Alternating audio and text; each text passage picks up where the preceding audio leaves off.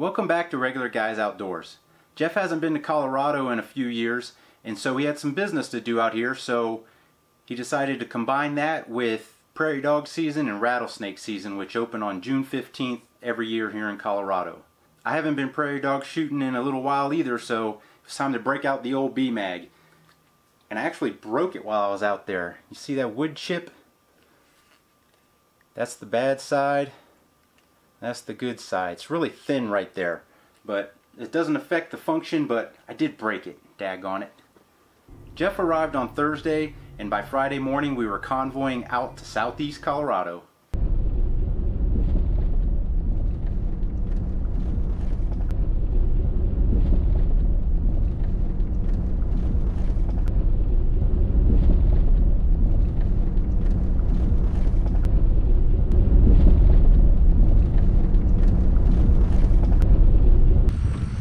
Some of the others we're going to share the week with.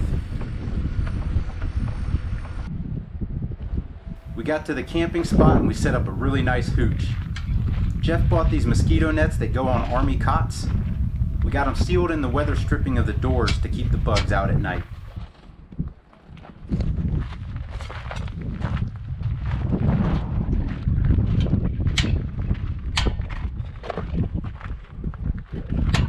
A nice screened little deal here. Problem was the floor didn't seal to the ground, so we got bugs in from the underneath.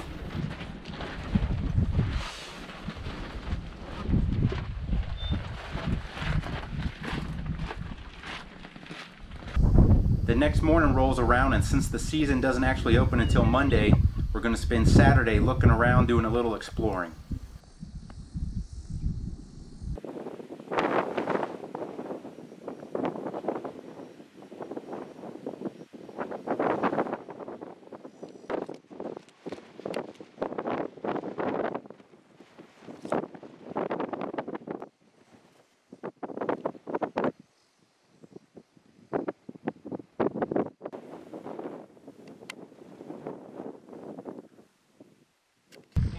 Implications of uh, snakes here.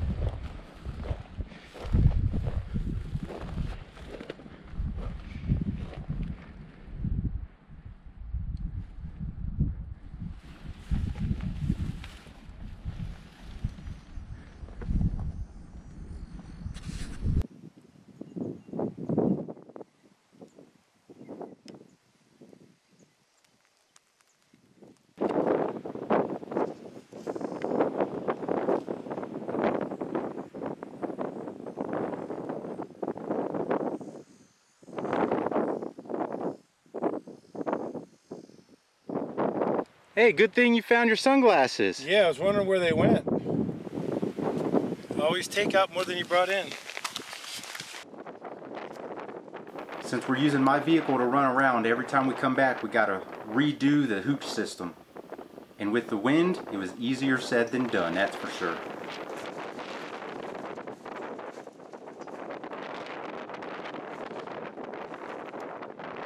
I'm gonna aim at the On bottom. Sunday, the highlight of what we did was just shoot our guns and make sure they're on, which again was easier said than done considering the amount of wind.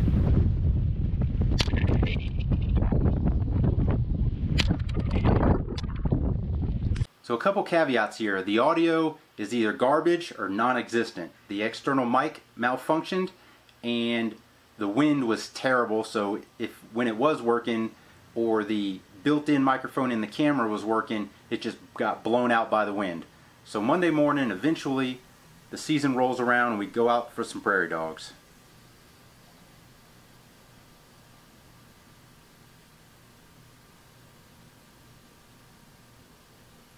We didn't start out so well. We had some misses to start things off.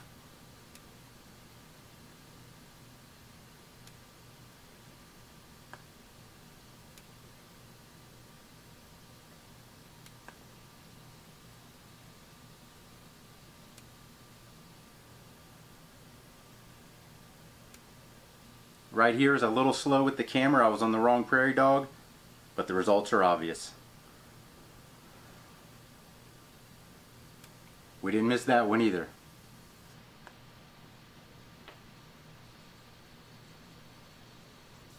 Or this one.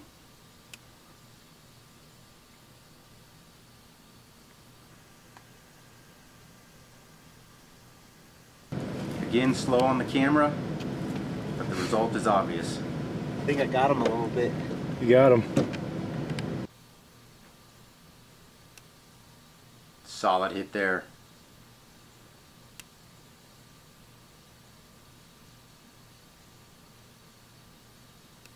That guy was cool as a cucumber and didn't seem to care at all. Until that one.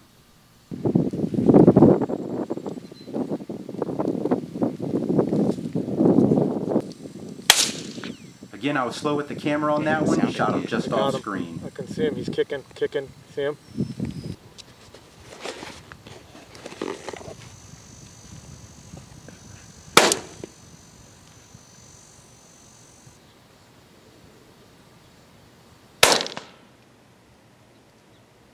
He's circling the drain. Came out. Like, why'd you run out?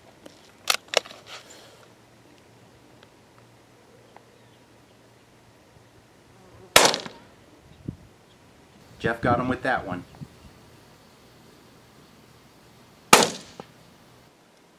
I think you hit him a little. I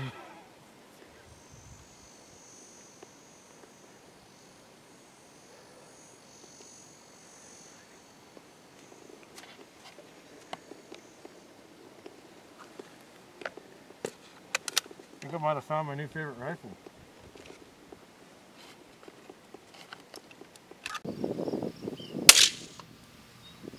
We warmed up a bit.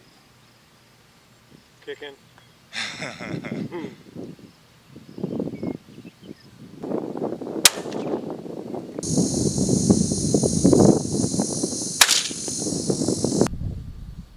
So when we weren't out shooting prairie dogs or hanging around the camp, we were out looking for rattlesnakes.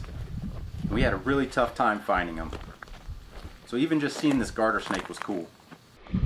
Not what we're looking for, but we'll take it.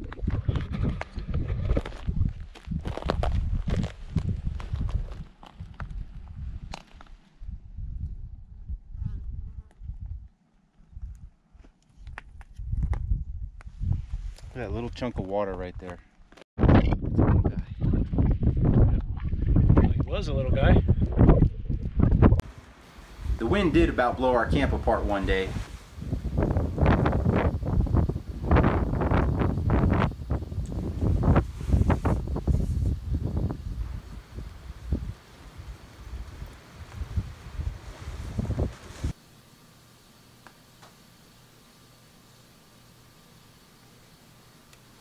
We started that day with a miss too. Right here in slow-mo you can see the bullet whiz right past.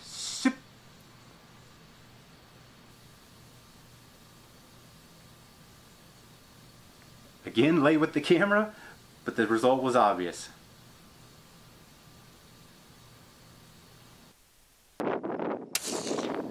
We'll slow this one down. Here as I'm getting set up, I kick the camera, but this guy's just on the edge of the screen, so I'll bring it in.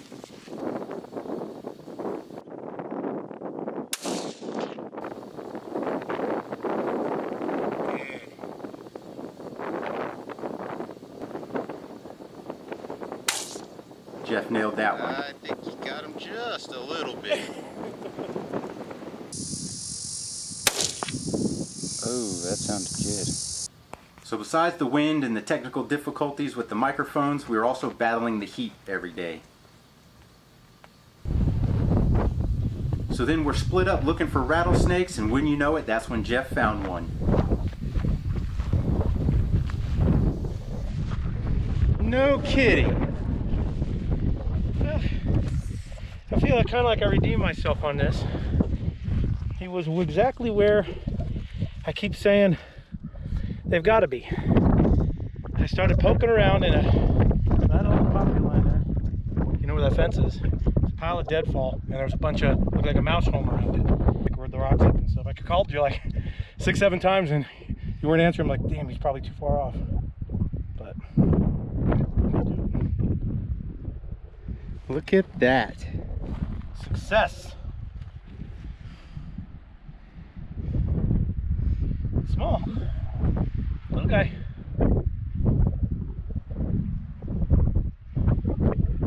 Got him. Got him. All right. Feel like some snake? I didn't bring the Sweet Baby Ray's for nothing. By the way, perfect. That side worked perfect. The hook side busted off pretty early. Again with the audio issues. We got nothing here, so I'm going to paraphrase. We got ourselves our snake, and we're going to clean it for cooking. So we're going to cut down the belly of the snake. We'll go from where Jeff cut off the head, and you split it down toward the anus. And the skin will peel right off. Especially if it's still warm.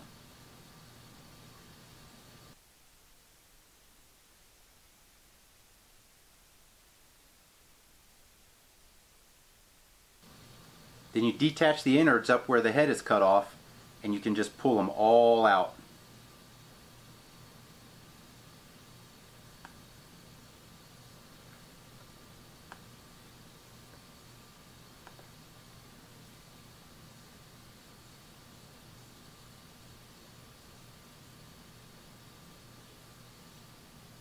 And at any time here, once the skin is peeled all the way back to the rattler, you can cut it off and you can have it all intact.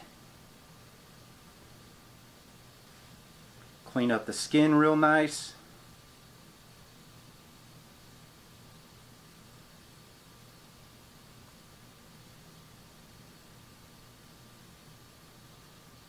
Clean up the body of the snake for cooking.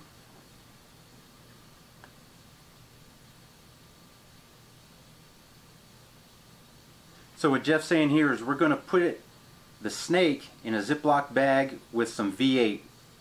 The V8 is a little bit acidic and so it should help break down and tenderize the meat as well as provide it with a little bit of a marinade. It would have been nice to have some lemon juice for that.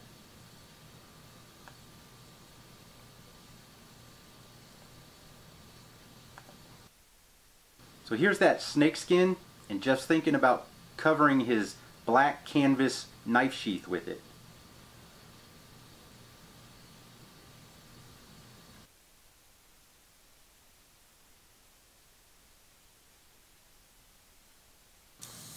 Cooking it on the grill on low heat because somebody who lives in Colorado forgot the aluminum foil.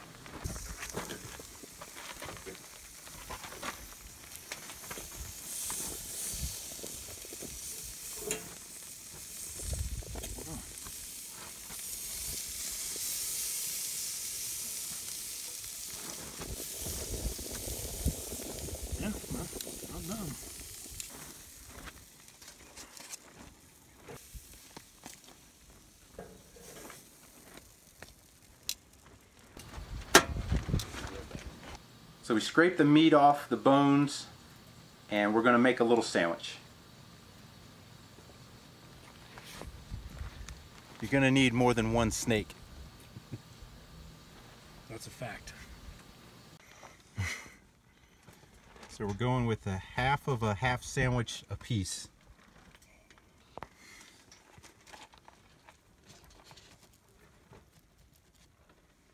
Cheers.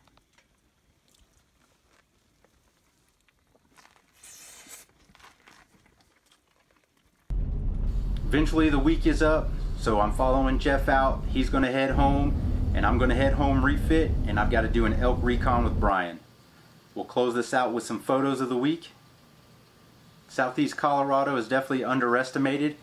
The canyons there are like reverse mountains. They're really beautiful. Hope you liked this video. If you did, go ahead and give us a subscribe. And as always, thanks for watching.